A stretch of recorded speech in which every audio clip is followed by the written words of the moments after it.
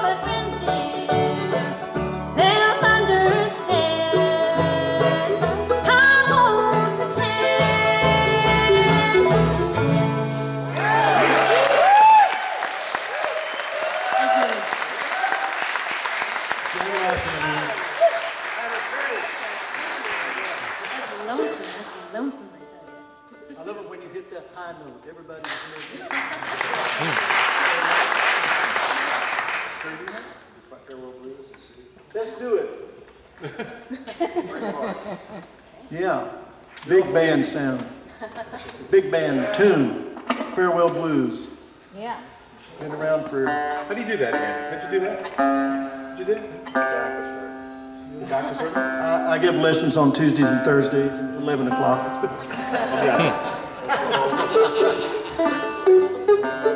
I went like this.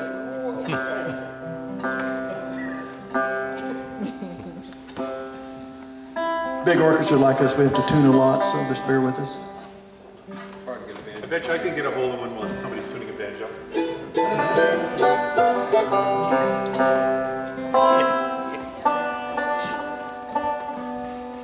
Don't make me tell a banjo joke. Just one.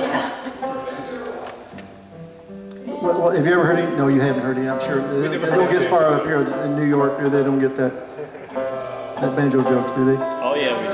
Try to, I think there's, No, no, I'm not going to get mad. We would like to hear an out-of-town banjo joke, wouldn't we? Absolutely. we're in a cultural exchange here. Well, let's see. I'm trying to make one that's clean. Make one that's clean. Uh, Here. Difference between a banjo and a trampoline. You know that, don't you?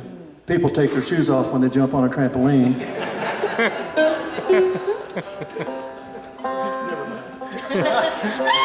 Right along. It's very serious. trampoline is something you jump on.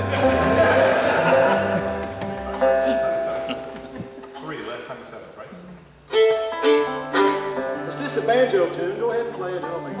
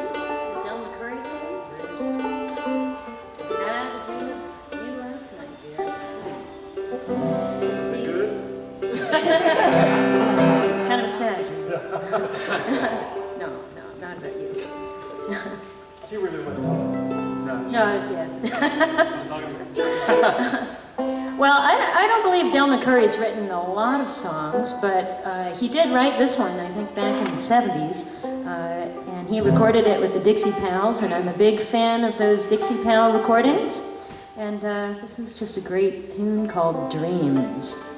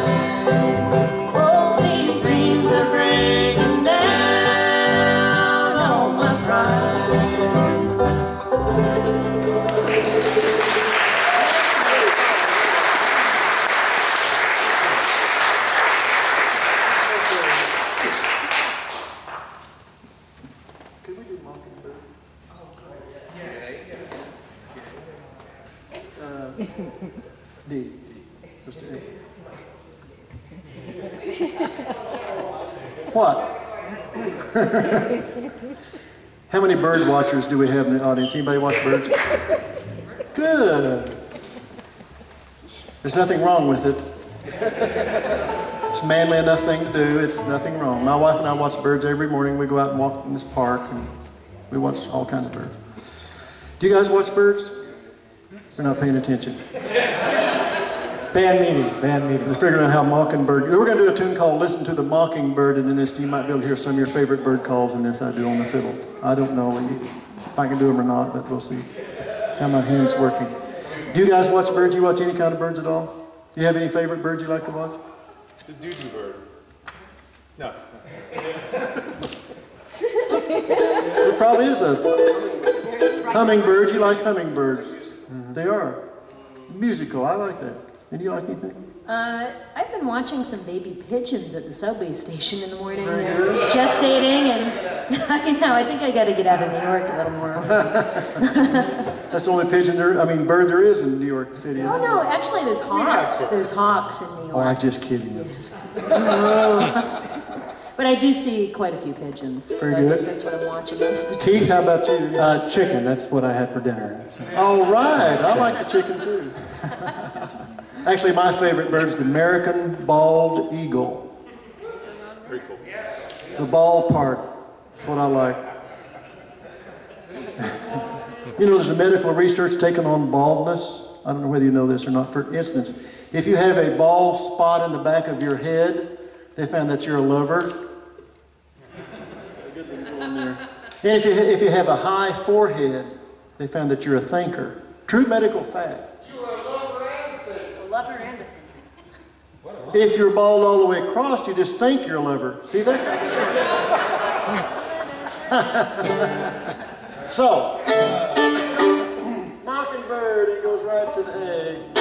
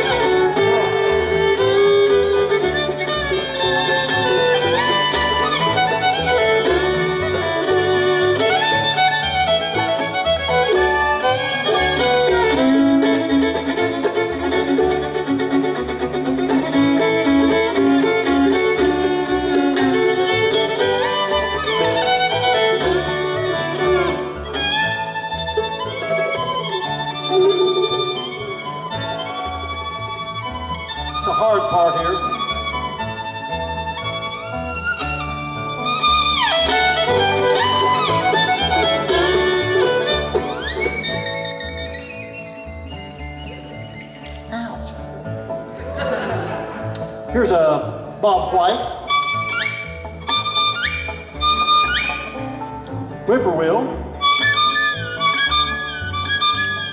Little baby whippoorwill. Robin.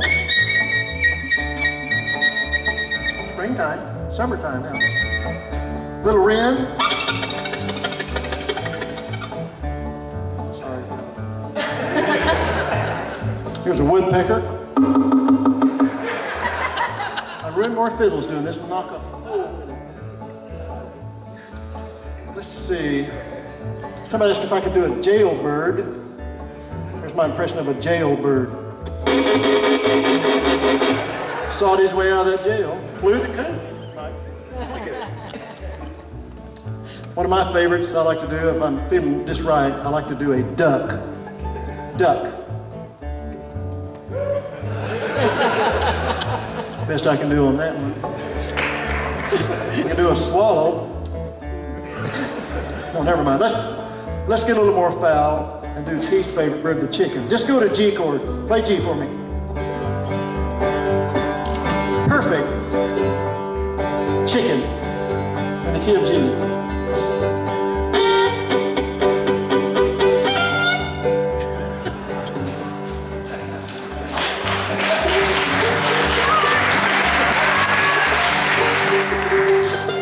You guys are such a good audience. Starved for entertainment, aren't you? Let's do a.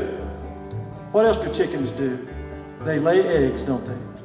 Let's do a chicken laying an egg.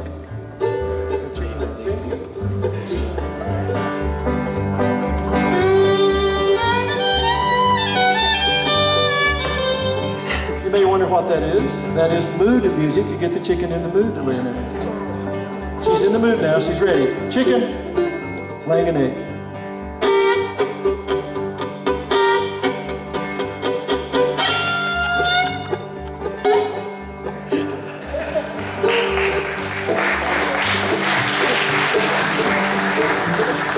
This is a chicken laying a great big square egg, if you could imagine that. Ow. Oh my goodness. What now? There.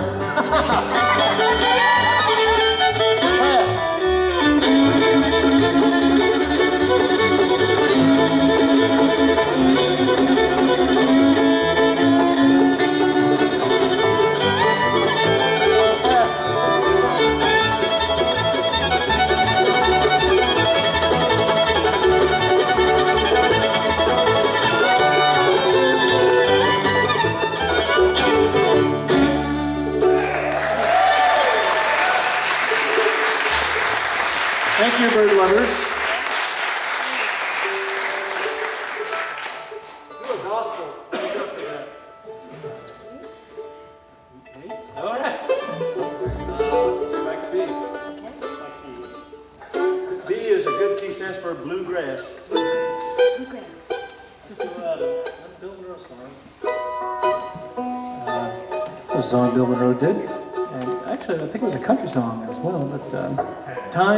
changes everything. You're kidding. Yeah. You, you want to do it? Oh, yeah. And B, I never played B in my life. That sounds, that sounds like it's it. It's hard to do there. Sorry. Right.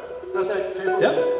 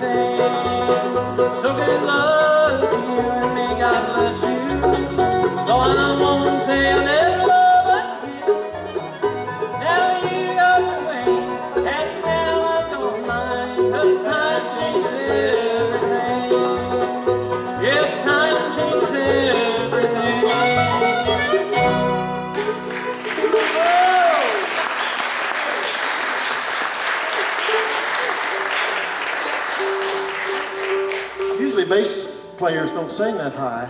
He does a pretty good job. I live on top of a mountain, you know. It's all those The air's years on the dairy farm. Thin air. Yodel a lot. Yodel, hey! No, You can't yodel? I can't. maybe tonight. I don't. That's Sudafed, you know. Anything on that list that we haven't, we haven't done?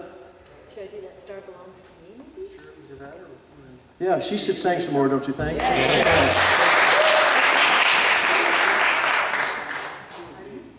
Okay, yeah, we can do that. We're just gonna do, all right. We're gonna do it. Is this show too slick, you think, maybe? This looks professional. That's how We're working on our Vegas act, so hopefully it's not too slick. right, here we go. We got it worked out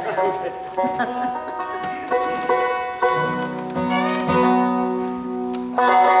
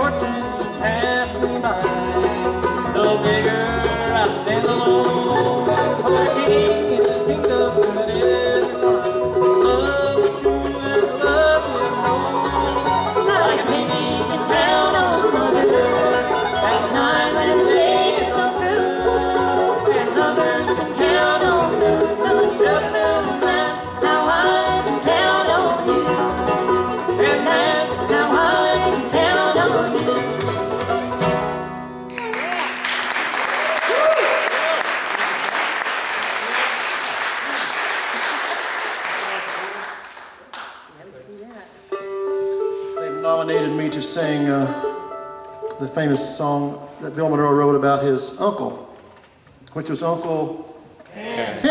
Oh, they're good, aren't they? Disciples of Bluegrass. Yes. Yeah, Uncle Pen. Uh, I got to tell you a story. Bill and I were good friends. We really were, and uh, he'd always rib me about something, and I'd kid him about something. And one time, I, I cut a, a record one time, and it was called Outrageous. I don't know whether any of you have that or not. It's a white album, just Byron Berline on this outrageous thing. And I've used all these studio musicians in Los Angeles. And J.D. Maness is a really good steel player. Played with Buck Owens and played with a lot of different people. And so I had not only bluegrass, but I had uh, electric guitars, piano, steel, everything mixed in with it. Just something different, you know, and uh, mostly original tunes. So I recorded that, and uh, Bill Monroe came out to Los Angeles, and he was performing out there, and Kenny Baker was in the band. So I played this tape for Kenny Baker. I knew Kenny Baker would like it, you know. So sure enough, he did. Oh, that that is that's that Byron, that's really good right there, and uh, he liked it, you know. Play that for Bill. And I said, no, Bill won't like it. I tell you that right now. Oh yeah, he will. He'll like it. so we pulled up the motel, and Bill stand up on this balcony, and Kenny said, "Come here, Bill." So he came down there, and I, had, I was in the car. I had the st- cassette playing, and I started started the first song. And the first break in it was a steel break. J.D. Maness playing steel, and Bill Monroe goes, uh, "What is that right there?" I said, "That's a steel." The player there, Bill. Hmm. Well, that just ruined it right there. and, and I said, Well, that's your opinion. Hmm. He knew he wasn't getting to me, you know. Goes, Well, Barn, your, your daddy wouldn't like you doing that kind of music. I said, Now, what are you talking about? What kind of music are you talking about, Bill? And he said, Well, that swing. I said, Well, let me tell you something. My dad was listening to Bob Wills before he ever heard of you. so don't tell me he wouldn't like it, you know. And so he, he kind of went on. So just a few, maybe a year later, Ricky Skaggs recorded Uncle Pen. You remember that? Mm-hmm. And what was in it? A steel break, if you remember. Yeah. So I, I got Bill. He came back to LA again, and I called him out there. And one time I said, Bill, I said, what do you think of Ricky Skaggs' Uncle Pen? Oh, it was wonderful. Well, he got up to number one. That's why he said it was wonderful. Made him a lot of money, you know. Oh, it was wonderful. Well, did you hear that steel break in it, Bill? He go, yeah, I did. I said, I don't think your Uncle Pen would like that at all. he looked at me and just laughed. So anyway, what goes around comes around, right?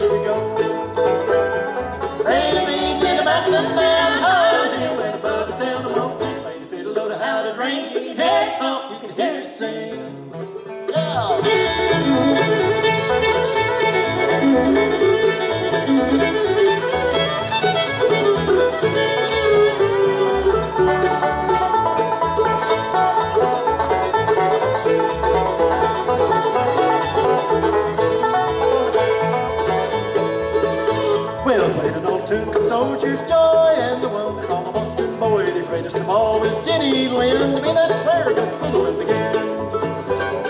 Then in the evening, the mountain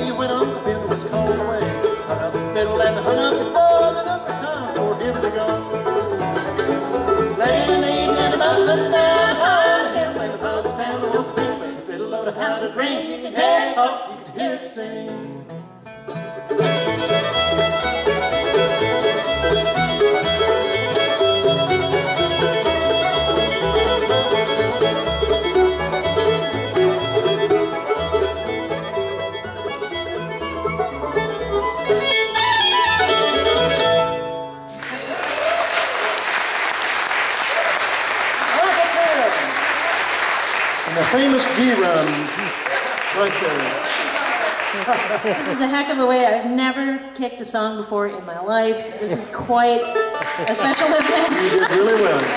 Only, only to go up from there. It's called being tossed into the deep end of the pool. but with friends, so it's good. Well, you didn't sink. It's paddle right along. Just like Bill Mon- Monroe would want me to. That's right. Well, we've run out of tunes. What do you want us to do now? Happy birthday Jerusalem Ridge. to you. Miller's Reel. All right. I had this, uh, my workshop today, all play Happy Birthday. Their version of it. In fact, I had them do it in the National Fiddle Contest for their final round, final song. See what they could do from the jam on Happy Birthday. It was interesting, to say the least. Fisher's Hornpipe? Fisher's Hornpipe, we'll do it, or uh, Turkey Shuffle, or? All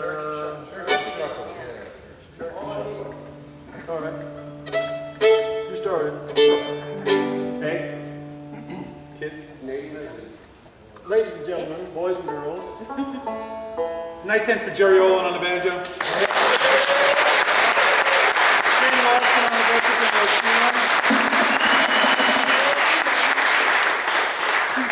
Back here. Give me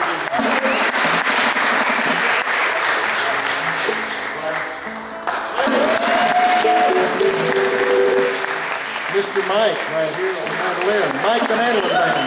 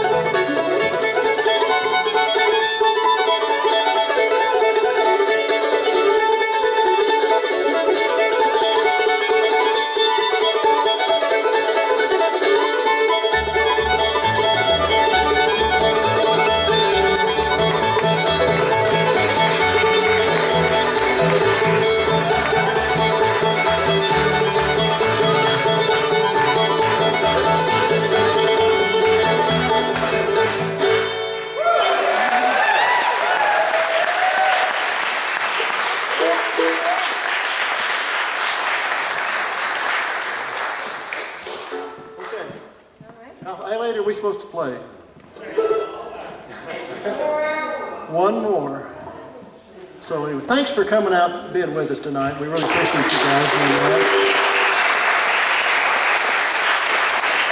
In the Hudson Valley Bluegrass Association. Thank you very much for putting all this together. And Fred, I want to thank you again for asking me to come up here and get together with Lynn and everybody to put this together. And so, and another round of applause for this fine band right here. Great?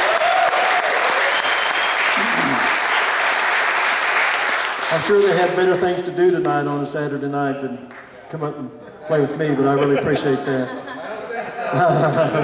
well, anyway, uh, thanks again, you guys. It's been, been great. And so, I don't know, what would you like to hear our last song? Orange Blossom Special. Big man. Big Mon. How about Rawhide? Oh, there you go. No, he didn't want to do that either. No, I don't care. That's fine. I'll tell you what, let's do. Let's do a little faded love and then we'll go into a little orange blossom now. Orange blossom. After that. Faded love. We did Maiden's Prayer earlier, so let's do faded love now. You know, there's- this is the Oklahoma fiddle song, state fiddle song, Faded Love. Bob Wills lived out there for a long time. Was on KVOO radio in Tulsa, Oklahoma for 20 some years.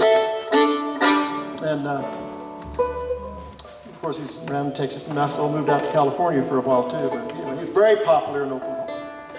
Ready?